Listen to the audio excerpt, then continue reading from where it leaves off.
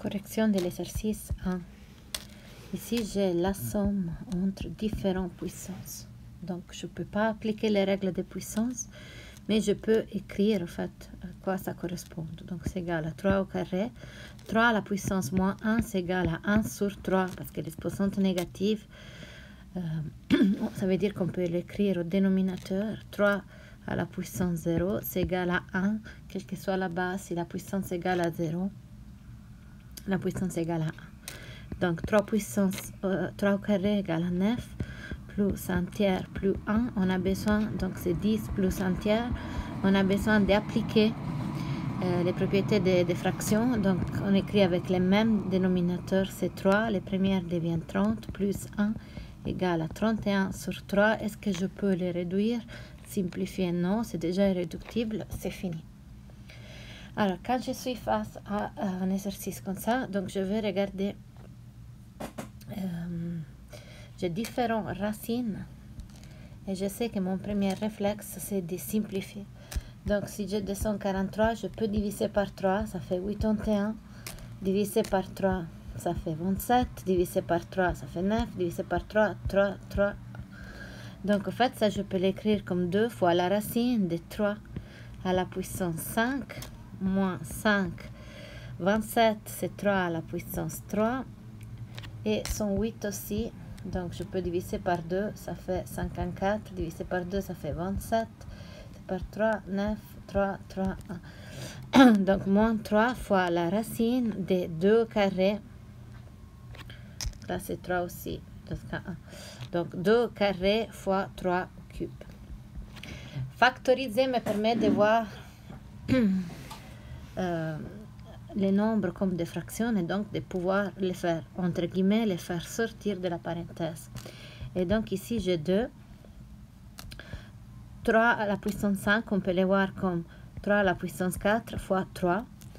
Moins 5, là c'est 3 à la puissance 2 fois 3.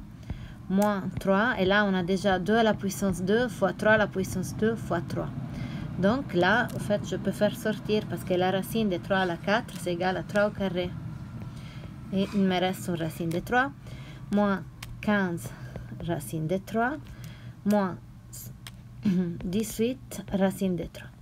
Une fois arrivé là, c'est une, une, somme, soustraction, une addition entre différentes valeurs qui ont tous la racine de 3. Et donc, en fait, je peux voir comme racine de 3 qui multiplie 18 moins 15 moins 18, donc égal à moins 15 racine de 3.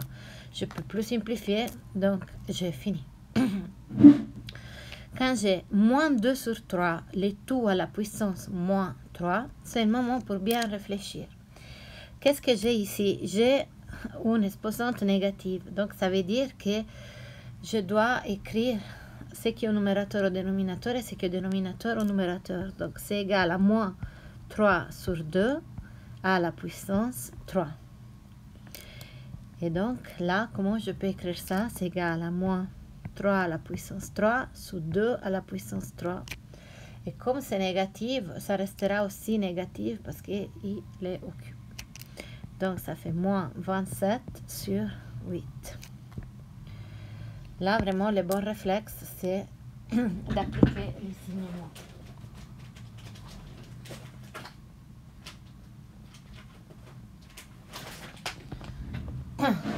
Alors après, euh, donc j'ai 1 sur racine de 72. Comme j'ai fait avant, je vais réfléchir sur 72, comment je peux l'écrire factorisé. Divisé par 2, 36, divisé par 2, 18, divisé par 2, 9, divisé par 3, 3, 3, 1. Donc en fait, c'est 1 sur la racine de 2 au cube fois 3 au carré. Donc déjà, je peux commencer à simplifier ce qu'il y a dans la racine. Donc c'est 1 sur 2 cubes, ça veut dire 2 carrés fois 2 fois 3 au carré. Et donc, c'est 1 sur 6 racine de 2. Maintenant, j'ai simplifié ce qui est à l'intérieur de la racine, mais je ne veux pas la racine au dénominateur. Donc, je multiplie fois racine de 2 au numérateur au dénominateur. Et donc, je trouve racine de 2 sur 12. Je peux plus simplifier, donc l'exercice est terminé. Ici, en fait, j'ai un produit entre racines. Donc, je peux l'écrire comme la racine du produit. Donc, 144 divisé 25 fois 49. Je peux et continuer comme ça en simplifiant. Ou, euh, ou je peux les voir comme la racine de 1 sur 25. En fait, on peut aussi les voir comme en appliquant tout de suite la racine parce que là, je vois 25 donc, soit je pars dans cette direction, soit je peux partir dans une autre direction.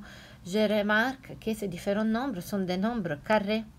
Donc, là, c'est égal à la racine de 1 sur la racine de 25 qui est égale à 5.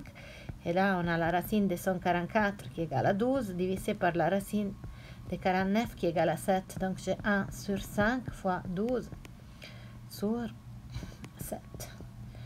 Cela revient à faire des opérations entre fractions. Cela est égal à 12 sur 35 et c'est fait.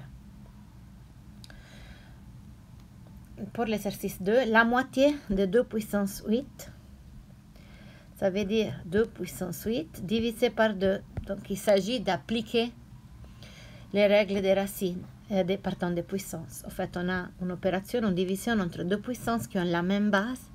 Le résultat aura aussi la même base, 2 mais euh, l'exposant sera égal à la soustraction entre les deux exposants initiaux, donc 8 moins 1, donc égal à 2 puissance 7. On peut s'arrêter aussi comme ça, en fait, donner les résultats comme ça. Soit on calcule, on trouve c'est égal à 128, mais on peut aussi les garder comme ça, en fait, c'est une écriture qui convient.